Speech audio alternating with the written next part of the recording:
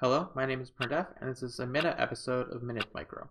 Today I'm going to cover a cosmetic update to the Minute Micro practice map. The level selection menu has received a visual overhaul to make the buttons much more aesthetically pleasing.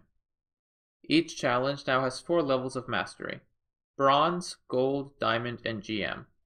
If you mouse over a level, you can see the criteria for achieving a given level of mastery.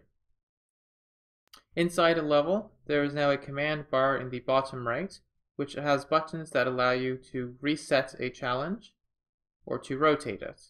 There is also a button you can press to minimize this command bar if you do not want it, and all the old chat commands are still functional. Although the mastery levels are named after leagues in StarCraft, there is no implied correlation between your MMR and your ability to complete these levels. A gold player may well be able to achieve GM level mastery while a GM is stuck at gold.